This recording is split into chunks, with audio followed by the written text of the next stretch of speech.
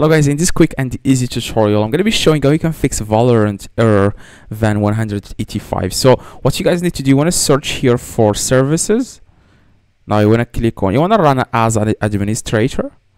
Now you will you find here a lot of files. You want to search for this file. It's called VG, uh, G, v, VGC, VGC. Okay, this is the file name. We call it in French VGC. So this is VGC. Okay just search for it by clicking on any file and then click on V on your keyboard. Now after you find it, right click and then click on properties and then the startup type you want to change it from manual to automatic and then click on apply okay so after after you click on apply you want to click on ok and then see if it works if it doesn't work let me show you another way so another way guys you want to click on search and you want to search here for valorant.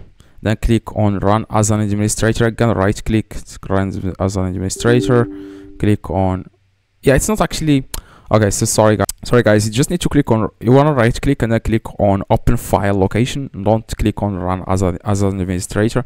File location and then you want to right click on the file which is valorant. And then click on more options and then properties make sure you click on compatibility and make sure you select this one. Run this product program uh, in compatibility mode okay? And make sure you enable these uh, like disable full screen optimizations and run this pro program as as an administrator.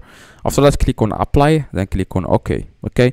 So after that you want to search for command okay command uh, command prompt. Right click click on run as an as a, administrator after that you want to click yes and then here you want to enter here.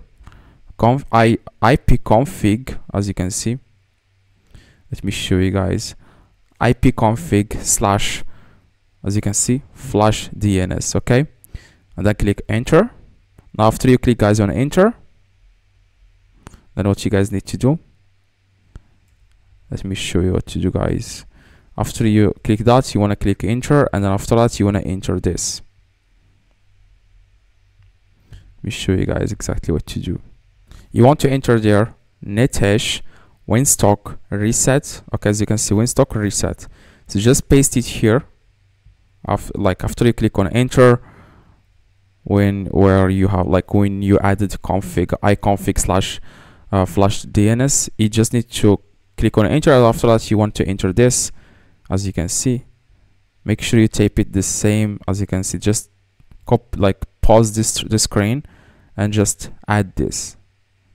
Netsh winsock winsock reset okay? And I click on enter.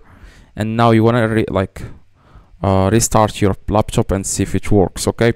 So hopefully hopefully guys this tutorial helps you. If you have any questions let me know in the comments. I reply to every single comment. See you guys next tutorial